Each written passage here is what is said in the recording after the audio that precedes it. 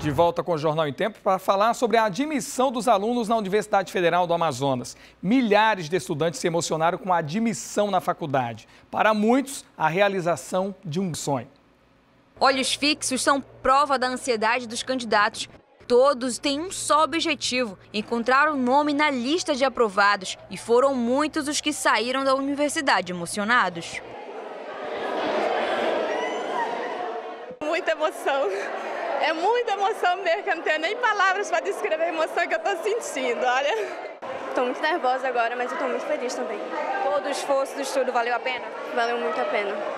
As vibrações de alegria eram sucessivas. Pais e filhos comemoravam a tão sonhada aprovação. É, foram noites sem dormir, muito atenciosa, muito estudiosa, então, como eu disse para ela, foi merecedor. Foram disponibilizadas mais de 1.800 vagas para o ano letivo de 2020 e os candidatos precisam ficar atentos para não perder a vaga. O edital de matrícula deve ser publicado nos próximos dias. O processo seletivo foi feito em três anos. Para se dedicar aos estudos, esta estudante abriu mão de muita coisa para conquistar um grande sonho sonho? Muito, muito, muito feliz e eu achava que eu não ia conseguir passar. O ensino médio todinho, sem vida social, mas estou muito feliz porque agora eu tirar um peso das costas. As próximas chamadas serão realizadas depois da matrícula dos alunos classificados na primeira chamada. A lista de aprovados está disponível no site www.ufam.edu.br. Parabéns aos aprovados. E agora a gente fala de esporte. O atual campeão amazonense e vice da Série D do Brasileirão em 2019, o Manaus Futebol Clube, ganhou nesta quinta-feira novos reforços dentro e fora de campo. Fora das quatro linhas, o clube fechou a quarta cota de patrocínio para a temporada e vai estampar a logomarca de uma tradicional marca de refrigerantes do estado. É uma parceria de sucesso e que eu espero que seja bem proveitosa para ambas as partes engrossa mais ainda, fortalece ainda mais o nosso sonho, que não é mais sonhado só por duas, três pessoas, mas por todos os amazonenses, todos os manauaras. O Gavião do Norte estreia na temporada na próxima terça-feira, às 20h30, na Arena da Amazônia. O adversário é o São Raimundo. Já no dia 5, o time tem outra missão: enfrentar o Curitiba na primeira fase da Copa do Brasil. A expectativa é que neste ano o Gavião do Norte ainda dispute a Copa Verde e também a Série C do Campeonato Brasileiro. Em campo, o reforço vai para a lateral esquerda. A gente possa dar mais uma alegria a esse torcedor, a essa cidade e conseguir passar para a próxima fase da Copa do Brasil. Com dinheiro nos cofres e time forte em campo, a expectativa do Manaus é lotar a arena com grandes jogos ao longo do ano. Muita sorte para o Manaus. E tem gente que não mede esforços quando a questão é investir no brilho e no glamour durante o carnaval. Para isso existem gastos e o comércio aproveita para reforçar o estoque e aumentar as vendas nessa época.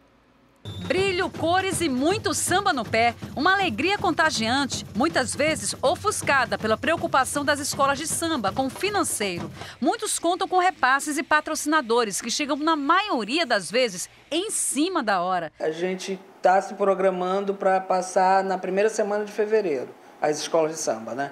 A Secretaria de Cultura do Estado não informou os valores que serão liberados para as escolas. A incerteza prejudica o desfile. Antes, o nosso carnaval era o segundo melhor do Brasil existia um investimento, do, tanto do governo como da prefeitura, num valor X. As pessoas às vezes criticam, elas não sabem que existe um orçamento para a cultura. O carnavalesco e diretor da Escola de Samba do Alvorada teve que fazer uma reestruturação para o desfile desse ano, por conta de uma contratação de 32 pessoas para trabalhar na ornamentação, música e coreografia. O ano passado, a escola investiu 700 mil reais no carnaval. Esse ano, a expectativa é que o investimento seja de 500 a 600 mil reais. O diretor da escola explica que esse valor baixou porque também perderam bastante patrocínio para o carnaval de 2020. Enquanto as escolas tentam criar o melhor espetáculo para o carnaval deste ano, o comércio se esforça para atrair os consumidores para as novidades. No centro, a expectativa é pelo aumento das vendas. A gente espera um crescimento em relação ao ano passado de 20% a 25%, devido a gente ter um período um pouco maior de trabalho de carnaval. Essa fisioterapeuta ama o carnaval e investe bastante em fantasia para manter a hegemonia de rainha e nunca perder majestade. Priscila já chegou a gastar mais de 5 mil reais com roupas para o desfile e para os ensaios. E é uma questão mesmo por amor, por gostar, né? e por se sentir bem, né? O principal disso é para você se sentir bem, estar tá bem vestida, é, para que as pessoas possam te olhar e te aplaudir da forma no qual você está. Ela disse que vai dar uma maneirada no investimento desse ano, mas dona de tanta beleza, vale a pena gastar sempre um pouco mais. Até amanhã.